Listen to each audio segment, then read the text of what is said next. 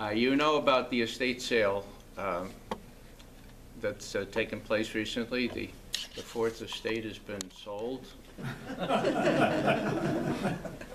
And uh, that's really bad news, folks. Uh, You remember the origin of that, maybe some of you, uh, Edmund Burke getting up uh, in Parliament where there were three houses of Parliament at the time and saying, I'm privileged to be here with these statesmen and statesmen in those days. Uh, But by far more important is the fourth estate, you men of the press up there in the balcony, because you keep our democracy safe. You report our doings here. Without you, the bets would be off. He said a little differently than bets would be off, but he meant it, and so did Jefferson, who said, as you probably remember, if it's a choice between a free press and a government, I'll take a free press. So that's gone. The Fourth Estate is moribund, if not dead. That goes for the New York Times, the Washington Post, the Wall Street Journal in spades. Good news is that there's a fifth estate. Now, guess where the fifth estate is? Internet. Right. Social media. Where, whatever you, the ether, I don't know where it is, but it's there. And it's really important. And it's our job to make sure that that substitutes in a realistic and powerful way for what our fellow citizens are not getting uh, from the fourth estate. Um, One of the trade secrets that I, uh, that I admit to in talks like this, this is not to leave this room, but uh, there's this mystique about classified intelligence. And uh, I'm here to tell you that back when I was working, 50, 40, 30, 20 years ago, uh, 80% of the information we needed, generally speaking, on a given country or issue was available in public media. 80%. Now it's over 90%. And the practitioners admit to that. Now, what does that mean?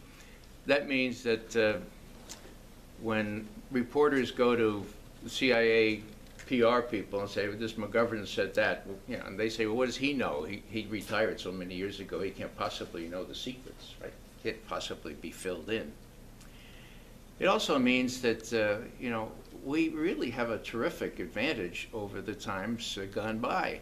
You know, in the morning, I always, uh, even though I can sleep in sometimes, I always wake up for 8 o'clock to watch Amy Goodman. I mean, you know, that is far and away the best source of information to start your day with. Even if I'm really tired, I do that, okay? And not only do I get 10, 15, 20 minutes of straight news, I learn all kinds of things that I should know about, that we all should know about.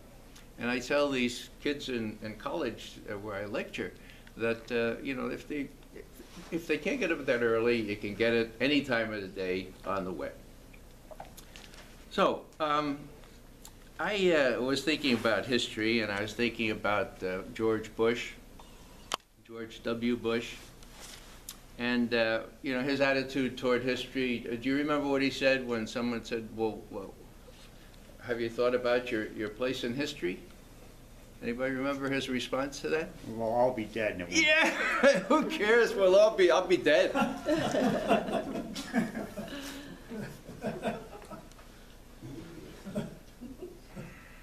There's something underneath that that's really, really, really powerful and very, very distressing.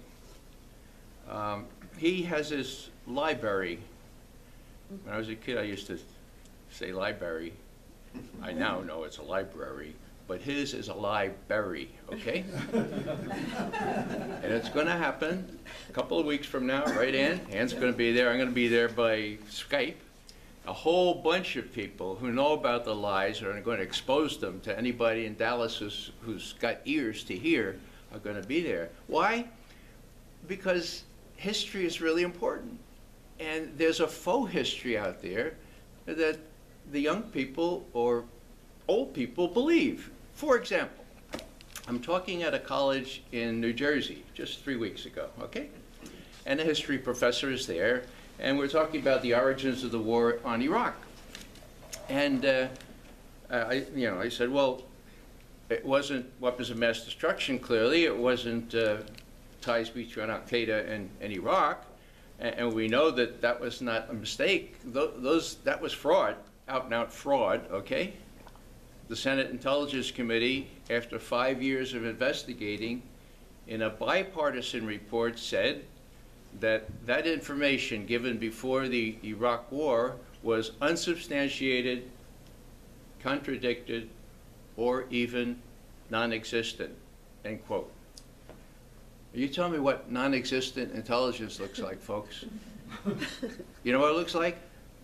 Forgery, yellow cake forgeries, making up stuff, distorting things, aluminum tubes, the whole nine yards. It was fraud. It wasn't a mistake, okay? Now, the other thing is, so, so I, so I said, well, so why do you think uh, we went into Iraq? And, uh, well, the professor rose to the occasion. He said, well, uh, Saddam wouldn't let the inspectors in. Jesus, professor. So I suppressed my instant reflection and say, I'm glad you asked that question, you know? Uh, and I deferred it. But then I pointed out that actually, you know, he did. Uh, oh yeah, right at the very end, like a couple days before we invaded. No, no, no. Actually, it was sort of, it was the end of November, so they were the end of November, December, January, February, half of March, um, and they didn't find anything. Why do you think it was because they didn't let the inspectors in? Oh, well, that's what, uh, the president said. Indeed, President Bush said that at least three times to a very distinguished interviewer, and the interviewer said, oh, okay, let's go to the next question. It's that bad, folks. It's that bad. If you don't remember, back at, in late 2002, it was all supposed to be a trick. Uh, and actually, it's referred to in those Downing Hussein. That's what Jack Straw, the British foreign minister, said. We're going to propose such a rigorous, such a restrictive uh, inspection regime that he, he would reject it out of hand. And guess what? He said, okay, come on in. Come on into my palaces. Uh, quiz my, uh, my engineers and scientists one-on-one. Uh, you can have the run of the place. And they did, okay? And they found nothing. So these lies are, are going to be rife, and it's going to be up to um, uh, to professors of law and teachers of law, uh, I'm sorry, history, to um, to make them correct. Um, in three years, we're going to be two years now. We'll be celebrating the 800th anniversary of the Magna Carta we talked about habeas corpus here, okay? Now, you historians will be writing scholarly articles and books about how uh, this practice of habeas corpus was was fought for by these uh, rather wealthy British barons who didn't like the notion that they could be wrapped up and put in jail without uh, any due process. And uh, but then uh, a couple of years ago, during the War on Terror, that was judged to be arcane and uh, outmoded and obsolete and uh, sort of quaint. And so that went by the board, and now we have a different regime. My God! My God! Now, I confront you because the prostitutes are not doing it. The journalists aren't doing it. And so, in addition, in addition to your teaching chores, and you're writing books and articles, make sure you write articles that people can read and you put on the web, and we can have Amy Goodman cite them, and we can put them on Consortium News or Truth Out or, or these kinds of things. So, so there's a fair chance that people who really know history, like you guys, instead of people who kind of know 50 years worth, I can put these, these things into perspective. It's really so necessary.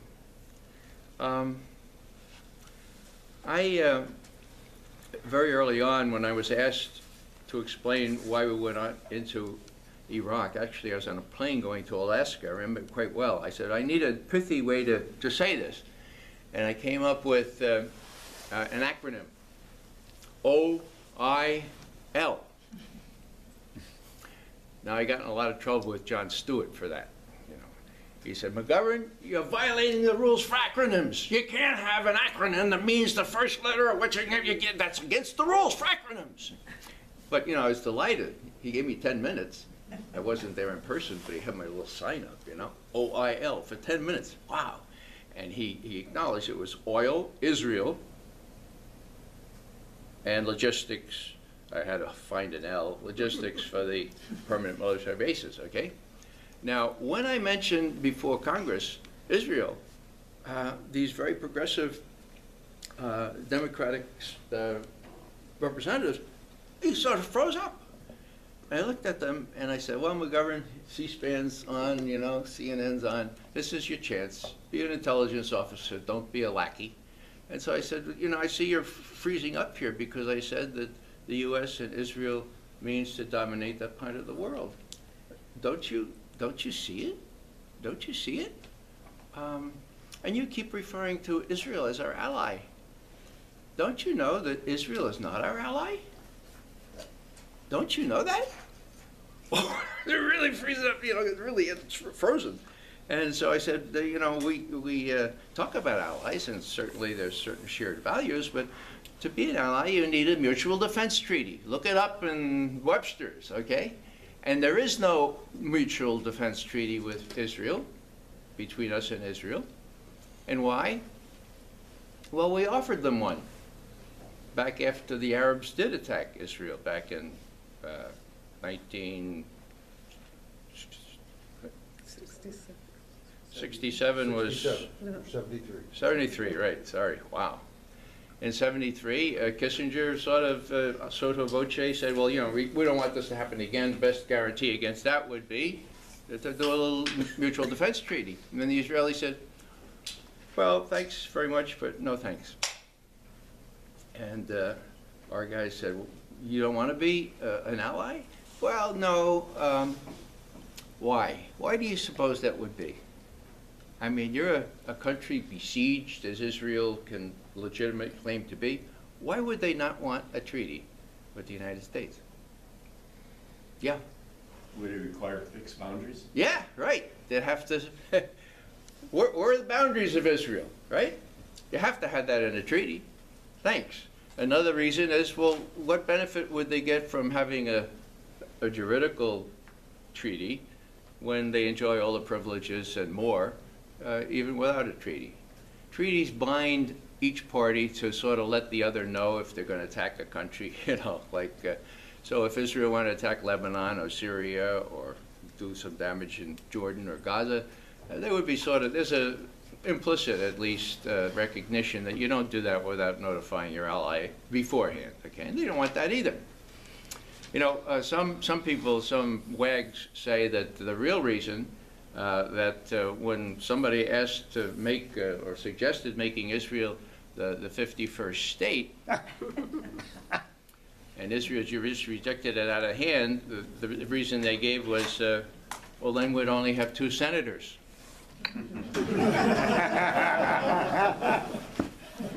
now, it's, it's a dicey proposition to uh, talk uh, in these terms about Israeli influence here. Uh, I'm a member of Jewish Voice for Peace, uh, sort of adjunct or associate member, but I think they do great work. And so it's really, it's really not right to generalize completely, but to deny the influence of the neocons the neoconservatives, and I was brought up short very early in Iraq because I was referring to the neocons as being responsible for these uh, ill-fated policies, and I got criticized in, I think it was called The Thinker, one of these uh, Zionist publications. They said, "Ah, McGovern's using a code word. He's using a code word." And I read on. Yeah, he, when he says neocons, he means Jews. And I, you know, naive as I was in those days, 10 years ago, I said, wow. I did a list of the neocons, and 80% of them were, were Jewish. And so I said, wow, you know, uh, yeah, I suppose I mean that most of the neocons are Jewish. That doesn't mean that most of the Jews are neocons, right? There's a big difference there. So I learned a, a lesson from that, and what I want to do is just uh, kind of not take too much more time, but but tell you that the New York Times. I'm from New York, okay, and uh, my mother and father wouldn't go to bed at night without reading the New York Times. My Irish grandmother would say, black and white, okay, between the lines as well as the lines themselves, and. Uh, it's, it's no longer all the news that's fit to print. It's a distortion for the most part, and nowhere was this clear, clearer. I bought this getting on a plane, I forget where, on Monday, November the 29th, 2010. Now, what's the story here? The story here is that uh, WikiLeaks had just given a big trove of State Department cables, like I think 250,000 of them the Times, The Guardian, Le Monde, and uh, Spiegel, I think, were the ones also in receipt of this. So was there an option for the Times to clamp down on this? No. Competition made them print it. Well, they had several weeks, and what did they do? They picked out stories, some of them really uh, strange, uh, all having to do with sharp distress over a nuclear Iran. On page one, the U.S., there's a path to a long-range missile. For the first time, the U.S. believes that Iran obtained advanced missiles from North Korea. Okay? Now, I'm just gonna, you can't really see this very, very much, but I'm gonna show you, there's the first page, okay? And I've underlined all the things that have to do with Israel. The point is that they picked, cherry-picked all the reports that they could expose or distort to show how much the Arabs are afraid of Iran, uh, how much the, uh, oh, look at that picture of uh, Ahmadinejad. Is he a bad-looking guy or what? Is that photoshopped? I mean, he's got the whole military there from Iran be behind him, you know? Yeah, it reminds me, any of you remember Porgy and Bess? Yeah, Okay, I have a little ditty here. Mahmoud Ahmadinejad, to say he is bad is the Fed. He threatened to zap Israel right off the mat, that kid Ahmadinejad, but that ain't necessarily so. that ain't necessarily so. Okay? It ain't necessarily so. And as you know, even though our president keeps saying that Ahmadinejad or the Iranians tried to wipe, wipe Israel right off the map. It ain't. Just, it ain't so. He didn't say that. Even the deputy, and ma- many of you probably don't know this, the deputy prime minister of Israel, Meridor, was, inter, was interviewed by a gutsy Al Jazeera fellow. Okay. And the Al Jazeera guy says, "But, but, but, you know, Ahmadinejad never said that, right?" And so Meridor says, all right, so he never said that. All right, doesn't really matter. He's a bad guy anyway. you know. So the deputy prime minister of Israel admits that Ahmadinejad didn't say that. The trans even the New York Times said that was a really bad translation of what he said, and uh, the president and the others keep doing that. Okay. Now the thing I really want to point out to you here is that thing on the lower left as you're looking at it. See those missiles? Yes. Those missiles, I think I can bring them up here. Those missiles were said to be, oh, it's probably locked. Okay. 19 missiles from North Korea to Iran. And they're pictured here in this parade in the Pyongyang's equivalent of Red Square.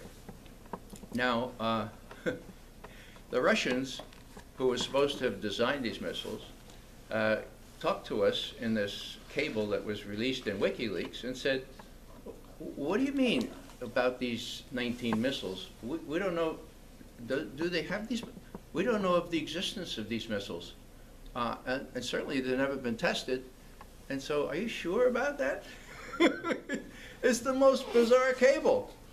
The New York Times just printed the, the threatening picture, okay, saying these were very threatening things. 19 of them have, have been given to Iran, which is all made out of whole cloth.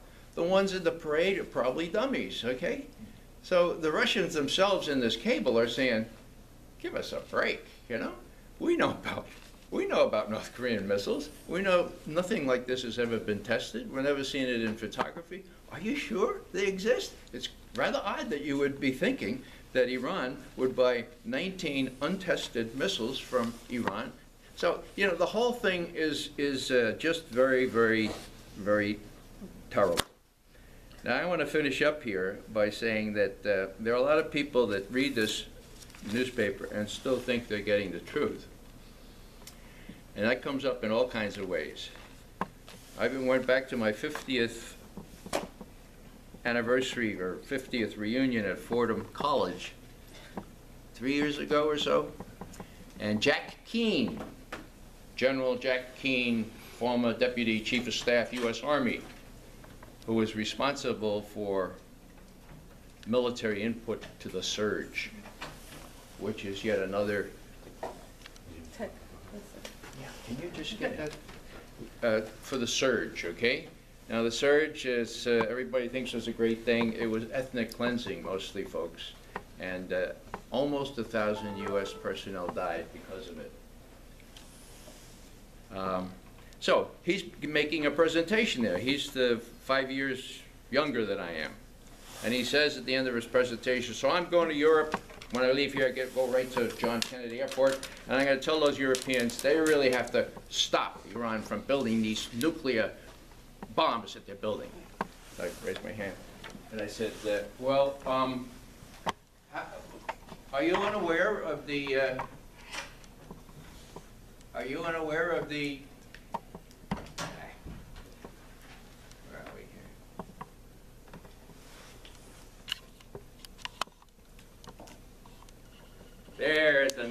Missile. It, it, on their website, it appears in bloody red color there on the tip. Iran has bought 19 advanced missiles from North Korea according to a February 25 diplomatic cable. That's from WikiLeaks. In a parade in October, North Korea displayed what some experts, you know, some experts, said appeared to be the same kind of missiles. So I just want to show you how, how uh, terrible that looks. So Jack Keane says uh, Iran's building nuclear weapons. It's very clear. And uh, so I raised my hand. I said, "Are you not familiar with the uh, with the unanimous uh, U.S. National Intelligence estimate of November 2007 that says Iran stopped building a nuclear weapon at the end of 2003 and has not resumed work on a nuclear weapon?"